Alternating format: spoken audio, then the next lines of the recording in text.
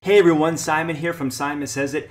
In this video, I'm going to show you how you can combine two different cells of data in Excel and merge them into a new cell. For example, I have here in column A a list of first names, and I want to combine column A with column B, which has a last name, so that we have first name with a space followed by last name, and we'll put that in column C. And we're going to use the concatenate function to do that. So I'll start off by typing equal sign, start typing concatenate, and that's the function we want right there, followed by a bracket, and then the cell we want to start off with, which is going to be A1, type in a comma, and then we're going to put in quotes, space, quotes, and what that means is we are going to put a space, and what that space in between the quotes means is that we're going to add a space in between the first and last name.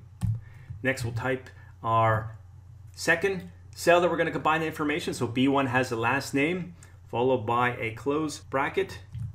Hit the enter key and there you have it. We have first name, last name. Now what I can do next is to copy and paste that function into C2. So let's go ahead and do that.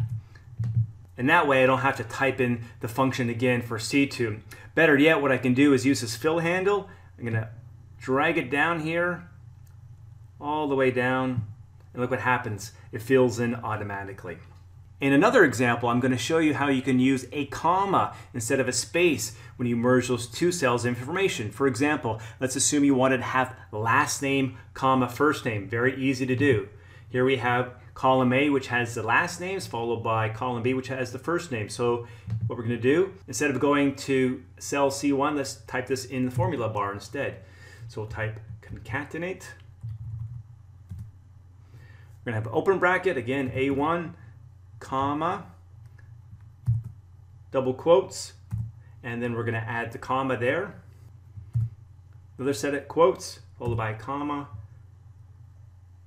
B1. And there you have it. We have last name followed by first name. Again, we can use the fill handle here and drag it all the way down, and that will update that formula for each cell. So that will be A2, B2, A3, B3, etc. So there you have it, a very easy way to combine separate cells into a new cell by concatenating that information into whichever way you want. Thanks for watching.